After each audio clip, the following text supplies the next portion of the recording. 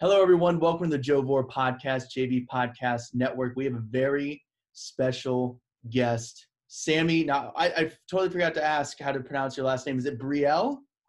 Yeah, perfect. Sami Brielle. Okay, it wasn't that tough of a one, so that's kind of like, yeah, I get moderate scores from the judges there. So, Sami Brielle, aspiring influencer, you are rocking it on social media, like over 20k on Instagram, over like 200k on TikTok.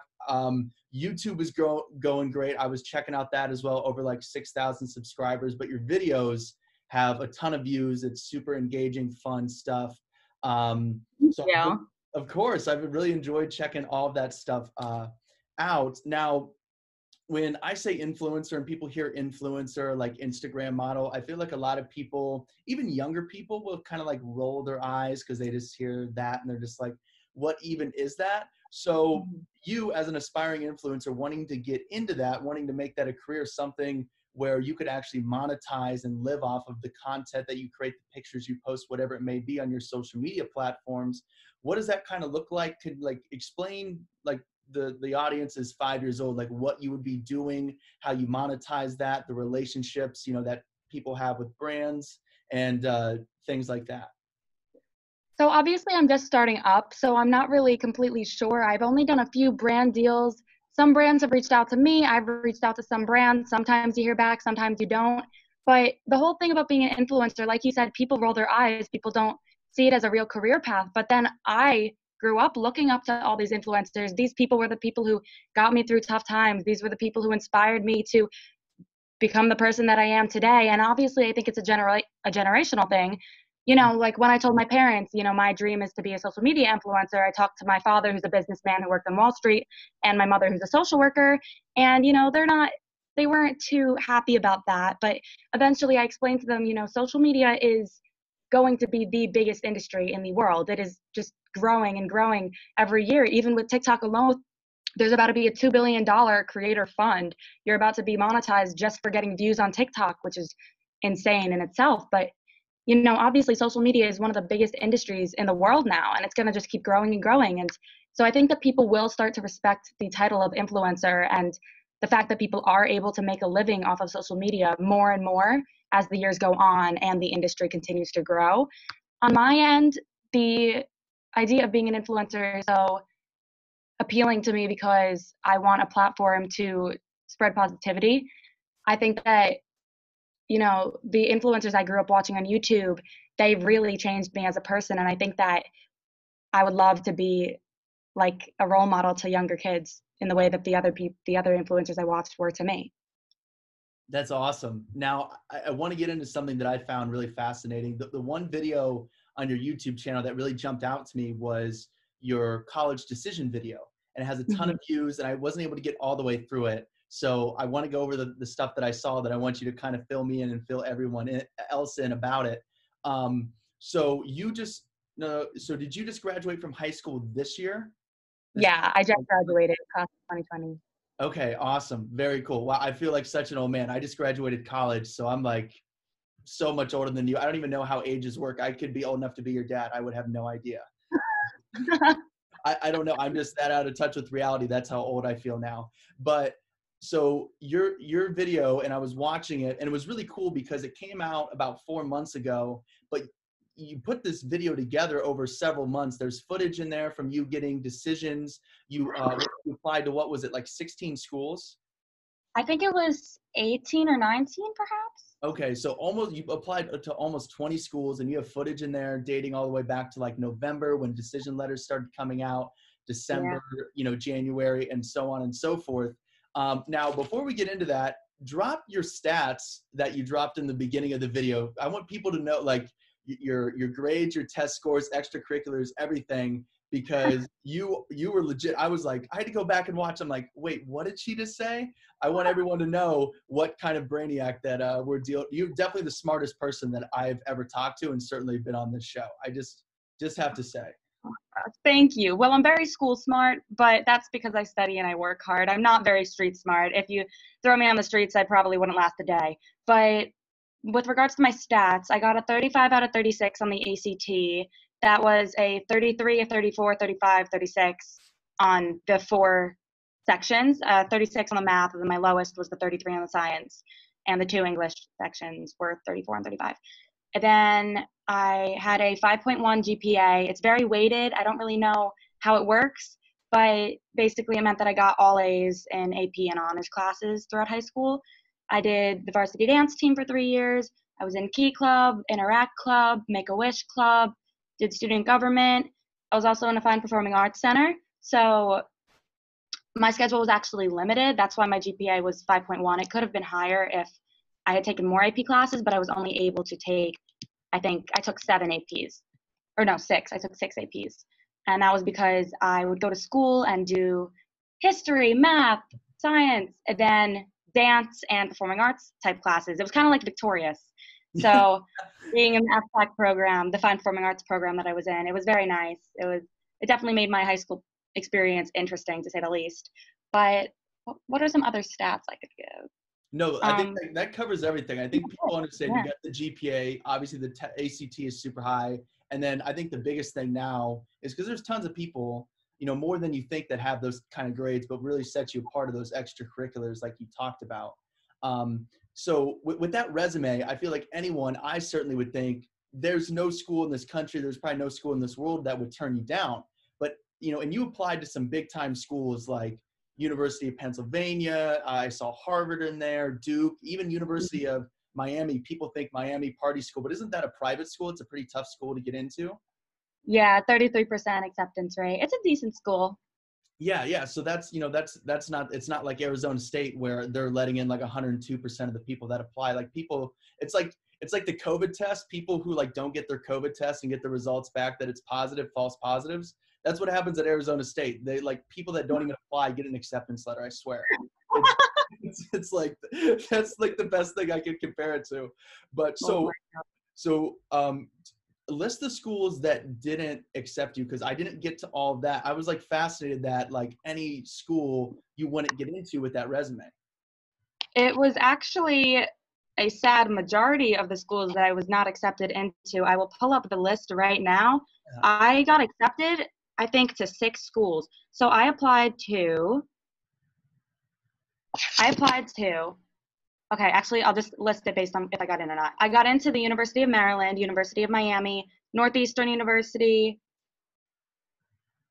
University of Texas at Austin, and I was waitlisted at UPenn and UCLA. I also got into Case Western Reserve University. Nice. And I was rejected by University of Virginia, University of North Carolina, Chapel Hill, Duke, Vanderbilt, Harvard, Yale. I think that might be it. Yeah. Oh, and University of Southern California. Uh huh. And I was waitlisted by UCLA and UPenn. Mm-hmm. And the thing, the big thing about my video was that USC, UCLA, and UPenn were my three dream schools. Yeah. I was waitlisted by USC. Sorry, I was rejected by USC, waitlisted by UCLA, and waitlisted by UPenn. And it was really hard for me being waitlisted by all three of or being waitlisted by two of my top schools. But ultimately, I got into UCLA, which is really great. I'm going there in the fall, and I'm super excited. Well, congratulations on that. I was going to ask, I didn't get to where you decided to go to school. Now, UCLA, I know some people that have gone there. Are they're a little different? Are they on? Uh, they're on quarters rather than semesters, right? Is that? Do you know? Do you have any idea? when does like when are you supposed to start school at UCLA? Like, what's going on? Because obviously, them being in Los Angeles, and with covid going on right now like what has been the impact of covid on you trying to start your freshman year of college so obviously covid has very much impacted my freshman year of college but i'm still going to be moving to california in about three weeks i'm moving i got an apartment with four other girls who are ucla students as well and we're all moving out to la but ucla is not doing on-campus dorming this year but even when they did have on-campus dorming available, they actually just declared no on-campus dorming two days ago. Even when they were having that as an option, I wasn't going to be doing that because my roommates and I found this apartment and it was better monetarily. It's not going to be as much for rent as it would have been for room and board at UCLA. Room and board is 20k a year. Overall, I would have been paying 65k a year, which is mm-hmm. crazy. But now it's just 45k a year plus the rent, which is still crazy, but a little less crazy. Um, yeah. But I'm going to be taking classes online, attending UCLA through Zoom, I'm guessing. But I still wanted to move out to LA, so I got this apartment. I'm hoping to kind of pursue some things in the entertainment industry while I'm out there, make some connections, have some fun, and yeah. Yeah, well, you'll do all that out in LA. That's that's what's as long as things start to open back up because that's that's what goes on out there. How do you feel about moving so far away? Because I did that too. I'm from Ohio. I'm actually home visiting right now, but I went to, like I said, I went to Arizona State. So being an out of state kid and not just being out of state, but you're going literally from coast to coast. Um, yeah. You know, obviously, like that's where you want to be, and you're excited um, about that. But you know, it presents challenges for everyone, no matter how outgoing you are. You know, it's it'll be a big adjustment. Like, have you spent a lot of time in LA before this, or is this going to be like really brand new to you? So I actually, for my 16th birthday, my mother took my best friend Emily and I to Los Angeles for a week to visit UCLA and USC, and uh, as like my sweet 16 present. So I spent that one week in LA, and I fell in love with it. I felt that that was the city I belonged in. So then a few months after that, the summer of last year, so the summer of 2019, I spent three weeks dorming as a UCLA student. I did a musical theater summer intensive. So I actually already have four summer or four college credits at UCLA.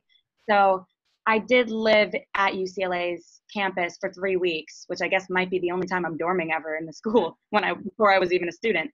But I did live there for three weeks last summer. So it's not completely new to me. I definitely know the campus of UCLA a lot better than I would say the average freshman who's only like done a tour because mm-hmm. I lived there for three weeks. But it is definitely going to be difficult. It'll come with challenges. I think that what has me going is the fact that I've been living in New Jersey for 17 years and I have never really liked it here. I've always wanted a change and this is the change I've always wanted. So I'm more excited than I am nervous. Yeah, that's that's awesome. That's really exciting. What what was that? Um, I, am intrigued. What what was that program like? You did that theater intensive program when you're out UCLA. What what was that like? Especially being you know younger, away from home, living on that dorm. I know you said you know that's where you want to be, so you're probably excited about it. But still, you know that's that's a, that's an adjustment, and then you're you know in this intense program that's probably really exciting, but it's definitely going to challenge you. So how did you balance all of that for those three weeks that uh, you were there?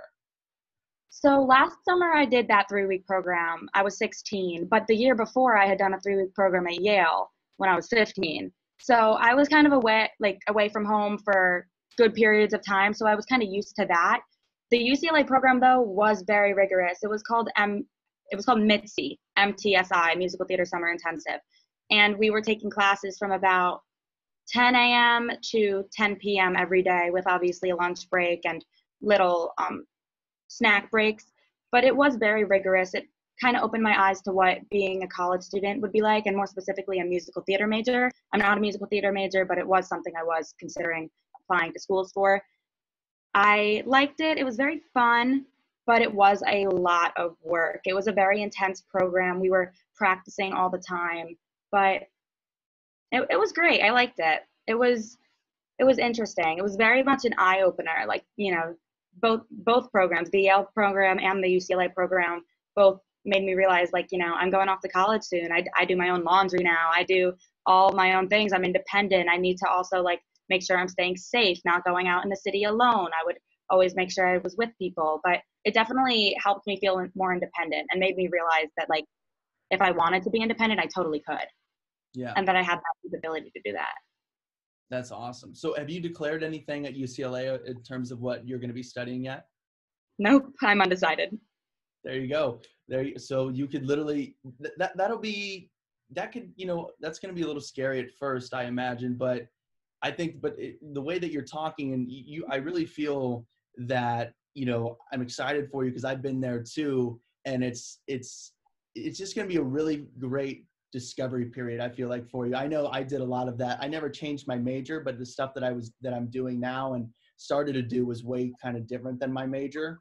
Um, so yeah never get discouraged about any of that stuff because you, you're just just enjoy everything try everything and you'll you'll if you throw yourself out there enough you'll end up finding your way and that's what i did because you'll learn almost learning what you want to do and which direction you want to go is just as important actually i think it's more important to go out and do stuff and find out maybe like what you wouldn't want to do because you really don't know until you're trying something. Yeah, for sure. I definitely think I'll find my path. My dream, like I said, is to pursue social media. That's why I'm undecided. There's really nothing I could see myself doing other than making content because it's truly what I love. But, you know, I'm just going to work my hardest at that. And if it doesn't work out, I'm going to a great school. And I'm sure no matter what, I'm going to have a great experience there. And whatever degree I end up coming out with, I have no idea what it's going to be, but it'll be something. yeah, that's awesome. Now I want to transition to this. I want to talk about my uh when I was scrolling through quickly, I came across is I think this is my favorite um your Instagram or TikTok video. I think I saw it on both. Um it was so funny. It was uh the, the caption was like your your guy friends reacting reacting to like the the W what is it like the WAP dance WAP dance. Yes, that's how like old I am. I just I can't say things. Um, but it was so funny because the dynamic of it, it seemed like so there's like the one guy who's like like like yeah, like yes like you go girl like yes queen slay like all that stuff and there's the one guy who like can't look because there's probably like a uh, you're like not brother and sister but there's like a brother sister like protective dynamic. And then there's like the one guy who maybe there's like a little sexual tension. There's like you got to stop this you got to knock this off. And i was just cracking up at the dynamic of it because I did this one video, this interview video, like, could guys and girls be just friends? And I wanted to ask you about it because when, when I saw that video and I was thinking about the and seeing those dynamics, now obviously you were doing that for like, like it was a comedic video, right? But I was, but I wanted to ask you about this because when I was asking, you know, you know, there were some people, you know, some people said yes, guys and girls can be just friends. Some people said no. But when I asked them the follow up question, um, I was asking them, you know, let's say, you know, I was interviewing you and I asked, hey, do you think your guy friends, if given the opportunity, they would be more than friends with you? And the way that the girls answered versus the way that the guys answered and vice versa was very different, very interesting. And I feel like everyone kind of, you know, there was a lot of girls who, and a lot of the guys, you know, kind of their egos were like, well, yeah, of course they would, right? You know, because they feel good about right. themselves. But then when it was kind of asked the other way around, they were just like, oh no, like I wouldn't do that. So I, I wanted to ask you kind of about that, like dynamic. Like if I was interviewing you, we'll play we'll play hypothetical here. If I asked you, can guys and girls be just friends? Kind of how would you uh, talk about that? My answer would be 110%. I think that people will have guy best friends, and then people could have their brothers. So I personally my neighbors, their names are Noah and Dylan. They're identical twins. They are two months older than me. And we have been friends since we were, I was six months old, they were seven months or eight months old. And we grew up like triplets. We have very similar family dynamics. We live right across the street from one another. We both went to the same Jewish preschool. We have so much in common. And the three of us grew up like triplets. And to this day, 17 years later, we're best friends. And there would never be any any chance for romance there because I don't consider them my best friends. I consider them my brothers. I introduce them to people as my brothers. They're my family. Obviously, we aren't blood related, but we act like we are, and that dynamic is there. We are, yes, are we best friends? Yeah, but I treat them like my brothers. They treat me like their sister. They get mad when I talk about boys. They don't, they're super protective. They never want boys around me um, that aren't them. But I totally think it is 100% possible for girls and boys to just be friends. And it pisses me off when people think that that isn't a possibility because you also need to think someone who's gay, right? Let's say there's a girl who's gay. Are you going to go out and ask her, is it not possible for you to just be friends with a girl? No. Right. Because that's not rational. It doesn't make sense. Just a girl who's straight and a guy who's straight. Why can't they be friends just for the sake of being friends? It doesn't make sense to me people sexualize things way too much. Yeah, I guess no. it's a little critical from me talking about doing the WAP dance and all, but I don't know. Just my no, opinion. that kind of brings me into my next thing. But first off, like I totally agree. But where it gets messy and wh- where it gets messy and where like I get the most sad is like, you know, if you know one of you one of those one of those twins right like they get a girlfriend and obviously you guys have been close forever like known each other forever you said you know blood is the only thing that separates you guys from being brother and sister.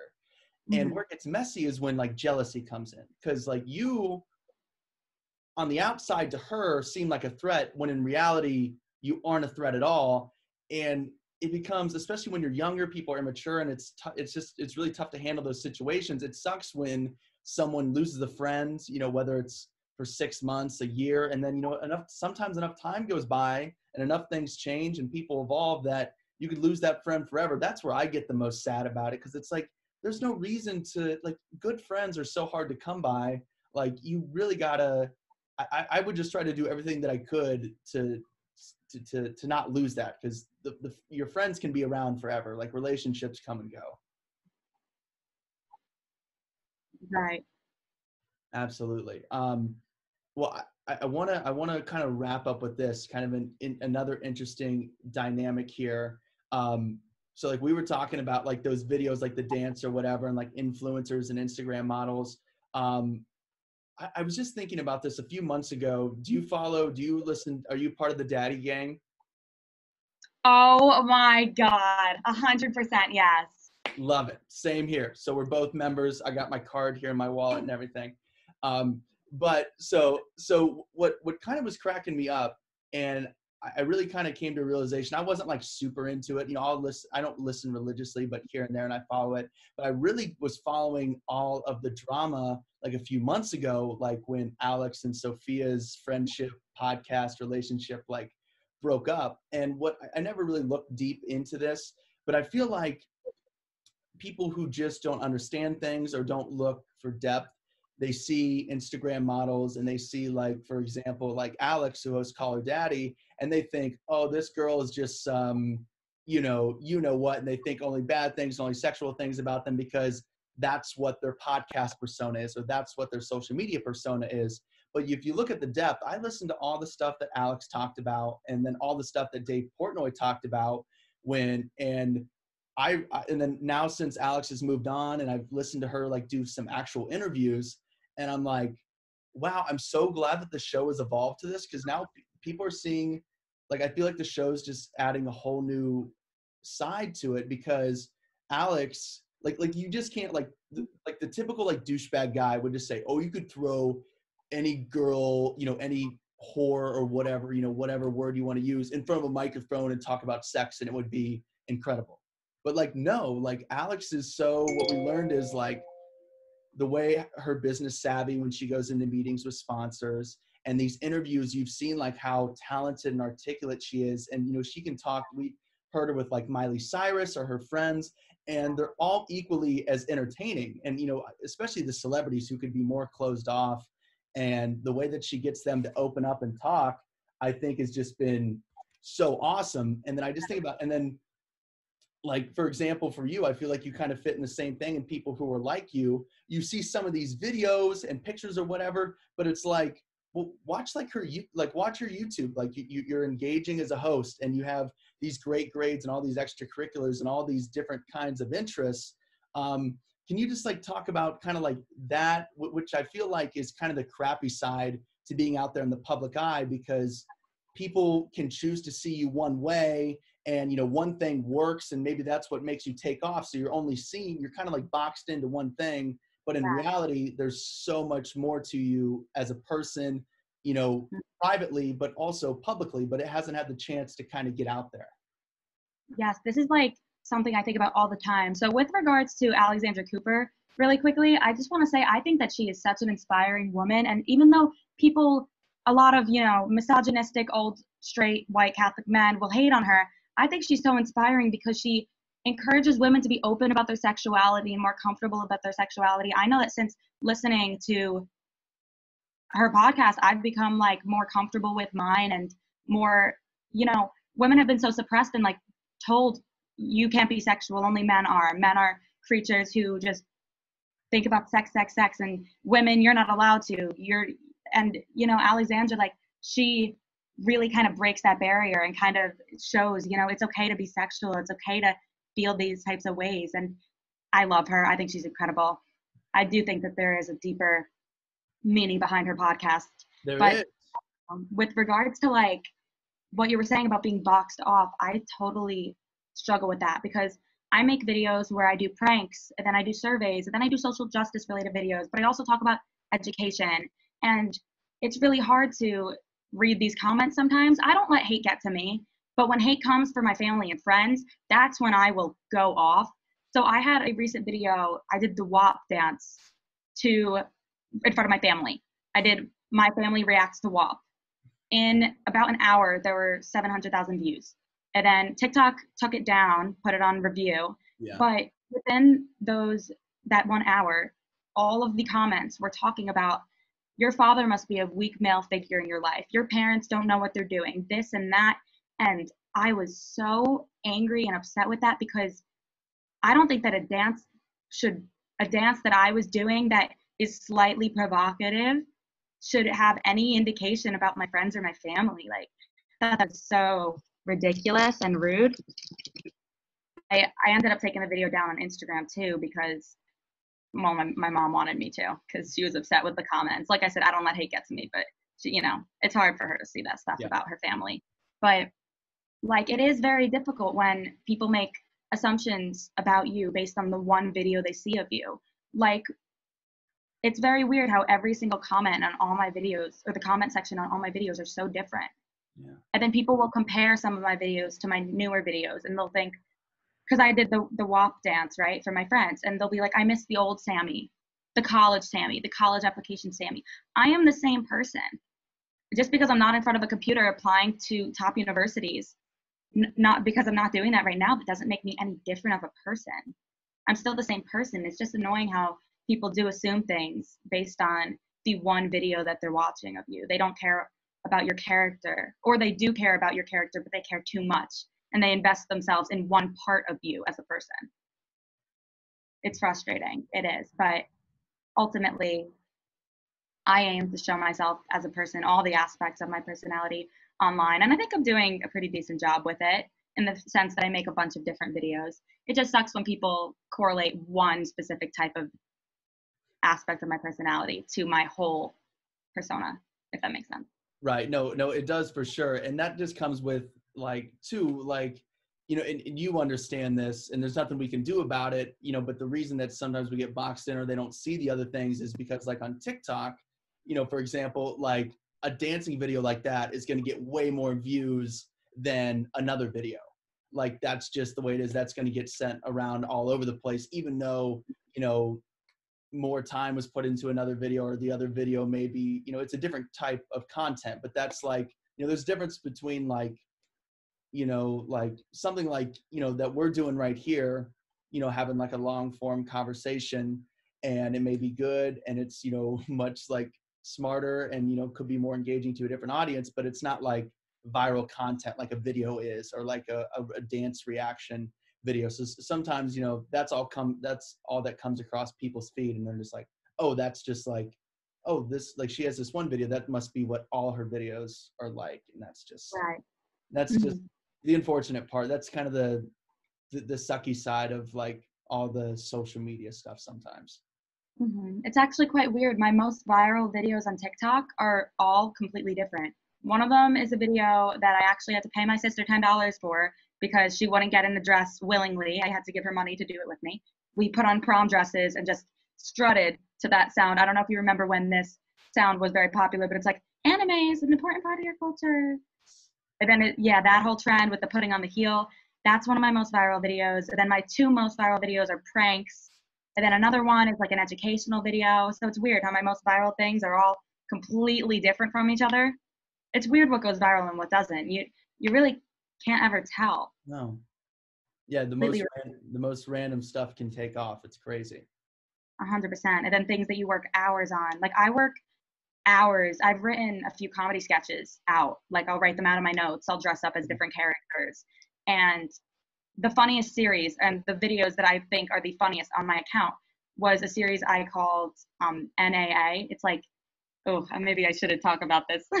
oh well, already in too deep. It's one of my favorite series on my channel. It's like a three-part comedy sketch where I kind of impersonate some of the bigger TikTokers on the app. Yeah. And I impersonate like a, what a conversation would be um, at a meeting if they were to all meet together. And I thought it was so funny. It didn't do well, but you know that that type of comedy sketch type of comedy sketch that takes hours to write and um, you know dress up as and act as different characters it's sad sometimes how like those types of videos don't do as well as the ones that are super random. Yeah. but you know I don't, I don't know. All i could do is keep trying hard and coming up with creative ideas that hopefully do well.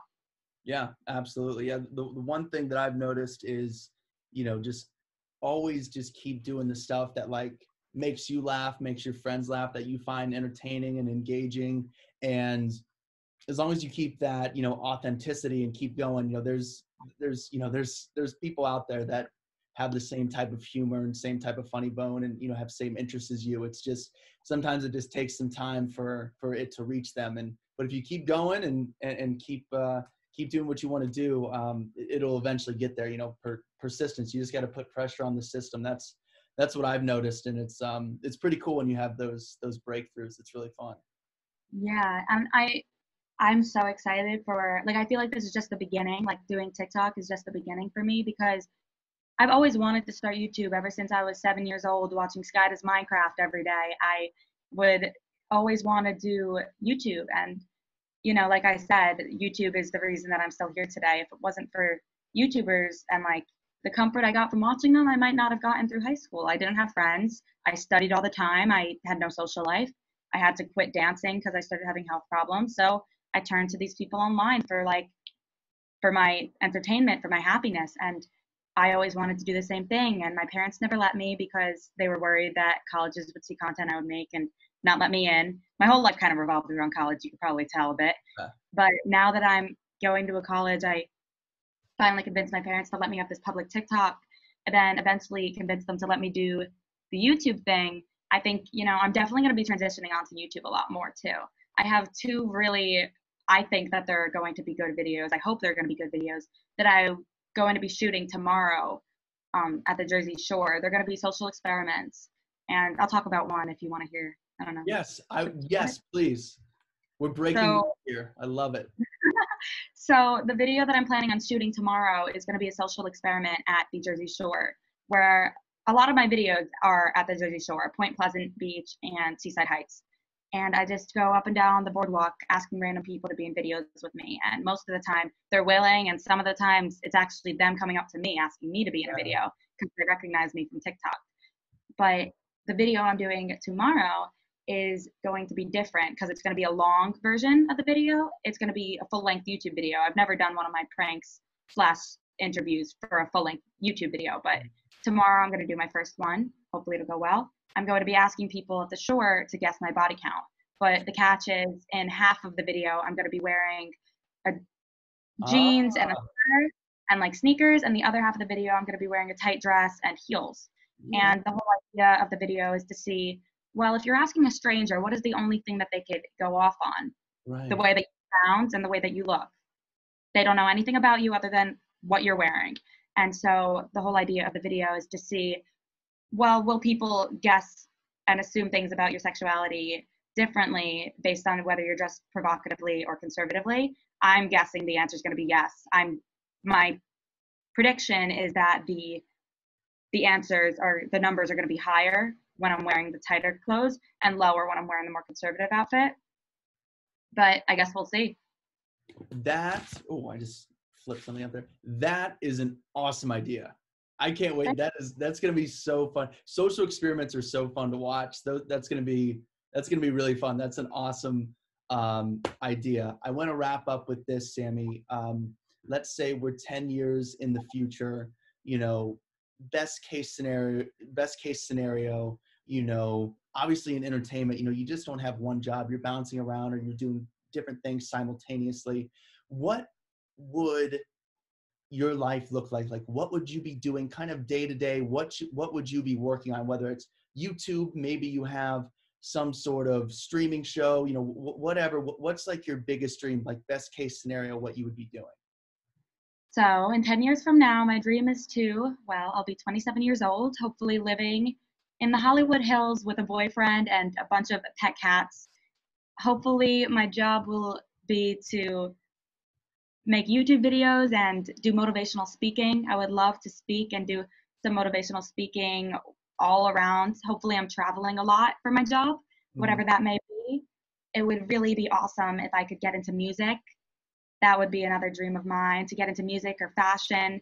You know, the idea of the, the 10 year plan is so confusing to me because I don't have just one interest, I have so many.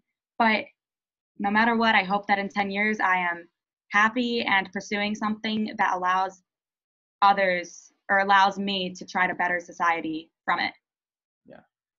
That's yeah. awesome. Well, I don't know exactly what that looks like, but I guess we'll see. That's awesome. Well, Sam, I, I really appreciate you doing this. You're a rock star. I loved I've loved watching all of your stuff. Like I crammed like get everything everything down because I thought we were going to do this tomorrow. But I'm glad we are able just to jump into it because I felt like I learned a lot of good stuff, and I I really look forward to continuing to following all your videos and and what you get get to do because uh, you're you're on a great track right now, and it's your stuff is really fun to watch. Thank you so much. I appreciate that. And thank you for having me on your podcast.